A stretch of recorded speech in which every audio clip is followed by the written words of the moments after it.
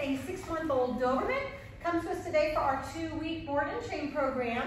Um, issues he's having, according to his owner, just typical puppy behavior. Um, chews on the leash, uh-uh. Um, chews on his leash, pulls on walks, jumps on people, just the, just the normal stuff.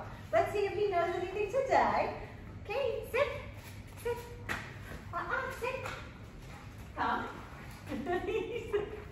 He's having a good time. All right, we will work with him over the next few days. Check back with us to see his results.